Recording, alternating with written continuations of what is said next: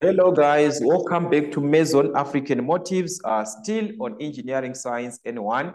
In this platform, we shall be working with uh, on energy, work and power uh, from the question paper which was written in February 2022. So we are going to quickly rush through the questions and see how we're supposed to answer uh, these typical questions. We were given, in this case, identify the energy transfer in each of the following examples, okay? Write it as follows, atomic energy to electrical energy. So you give what is happening here. All right. So if we are to check here, we are given a man, then uh, with a bow and arrow, then after he has released the bow and arrow in this case. So at this point, we which form of energy do we have? This is potential, all right? So we've got the potential energy in this case, all right? That is the potential energy. Then when there is a move, when he has released the ball, that is the arrow here in this case, that means we are now, there is a movement. So it is going to be kinetic, all right? So this is uh, from potential energy to kinetic energy, okay? On 7.12, what we have, we've got an electrical circuit, then we have connected a device in this case. So in this case, what we have, we've got, uh, and from the electrical circuit, that is the electrical energy. So we have got uh, electrical energy in this case, all right? So once you plugged in here, then there is going to be heat. So this is going to be transferred into heat energy. All right, so this is kind uh, electrical to heat energy. All right, the first one, potential to kinetic. All right, so I think uh, this was clear. All right, this was clear. So let's see the other part of the question. On 7.2, building material with a mass of 800 kgs is being hoisted vertically upwards from the ground to the 60th floor, nine meters above ground. Take note, to the 60th floor, which is nine meters above. We are not given that uh, each it's nine meters from each floor. It's nine meters above up to that 60 floor. It is nine meters. So the total distance which was taken is nine meters. All right. So the question is on 7.21, draw a neat force distance graph of the movement. So we need force versus what? Distance. So here we need to find the force from what? From the mass. Remember, we are going to have mg, which is mass of 800 times the gravitational acceleration of uh, 9,8. So make sure that you multiply uh, properly. In this case, we are going to obtain something like 7,840 Newton. So we have the total force, we have the total distance, and the scale. All right, so let's use this. So I'm just going to show you a sketch of what it, it was going to look like, uh, but you're supposed to do this accurately. So this is 7.21. So take note, we said our total force is 7,840 Newton, and the total distance in this case is equivalent to nine meters. All right. So according to scale, two centimeters represents three meters. Okay. So each and every two centimeter is two is the two centimeter represents uh, three meters, all right? That was three meters exactly, all right? So this is three meters. Then for force, it's every one centimeter represents 1,000 Newton, okay? Every one centimeter represents 1,000 Newton. All right. So what you're going to do is that, uh, okay, let's insert our ruler here. All right, let's say we've got our diagram here. Remember, this is force versus distance. So you can have the distance axis and the force axis here. All right, so I'm just going to show you uh, what you're going to have. So this is your distance. And on the other side, we have got our force here. All right, so this is our force in this case. All right, so from this part, uh, all right, let's just reduce this one. All right, so this is your distance, which is in meters. All right, but we are given that each and every two centimeters, it represents three meters. So what you do is that from zero here, uh, let's say this is one centimeter, all right, then two centimeters. So two centimeters represents three meters. So it is going to be three meters.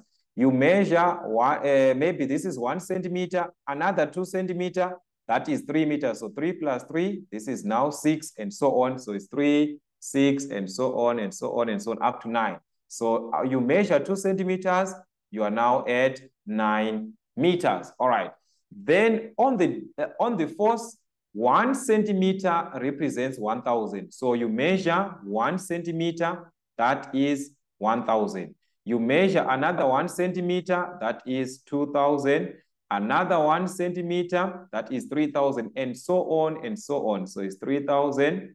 Uh, we've got 4,000. We've got 5,000. We've got 6,000. All right. We've got 7,000. Uh, so to accommodate 7,800, we need 8,000. All right. So this is your force on this side in what? In newtons. All right.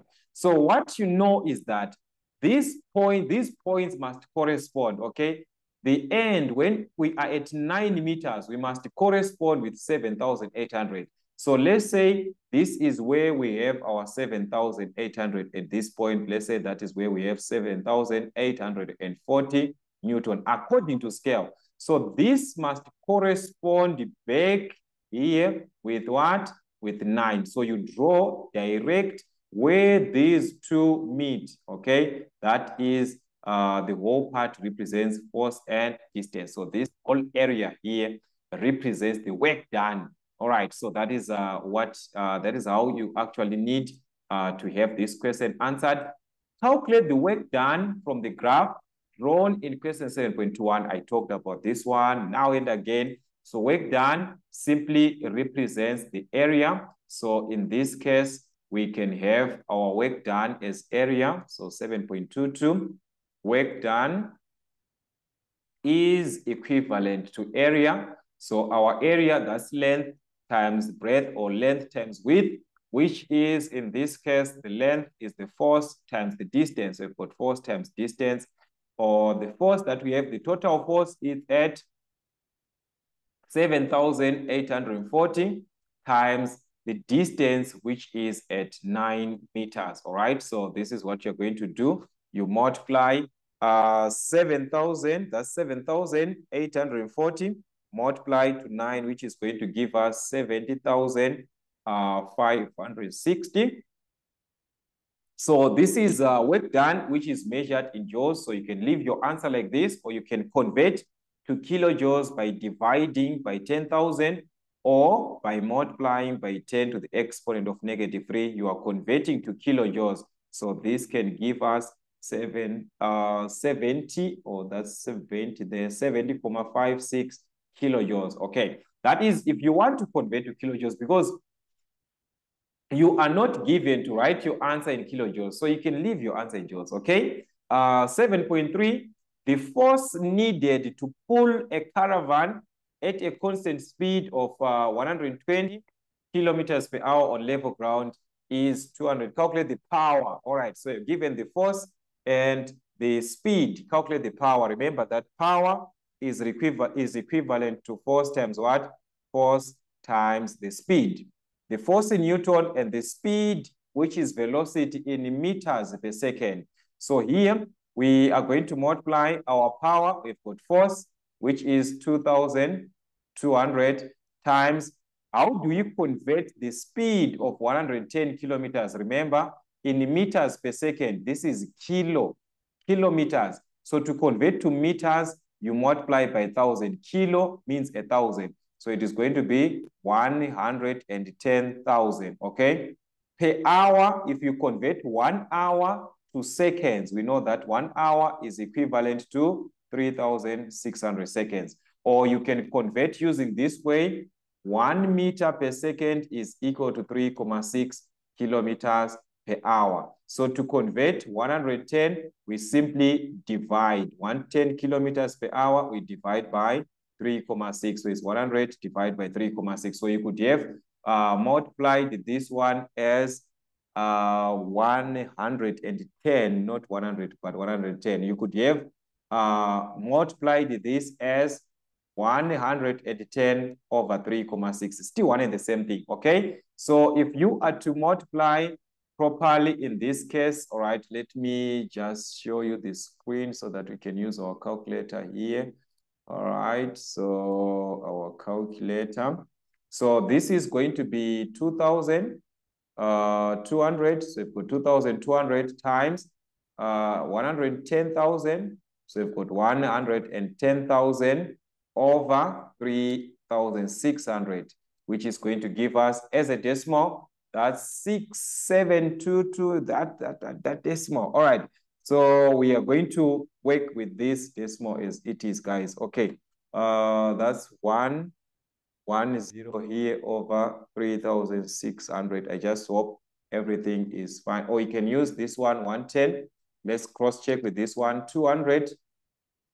Uh, 2,200 times the velocity in meters per second, which we said we can divide. So it can be 110 over 3,6 like this. Okay, we still get the same answer. All right, so that's what we have. So it's 6, uh, 7, 2, 2, 6, 7, 2, 2, 2, comma 2, 2, 2, and so on, which is measured in watts. In, in watts. This is power. All right, so take note, guys. This is kilometers per hour, meters per second, you multiply by 1,000, you divide by 3,600. Take note, you divide by 3,600, okay? So you can convert to kilowatts if you want, or you can leave it like that. If you convert to kilowatts, you divide by 1,000, which is going to give you 67,222 kilowatts, all right? Uh, that will be in kilowatts like that. Okay, so that was the question that we had on energy work and what and power for Maths Zone African motives uh, till we meet again.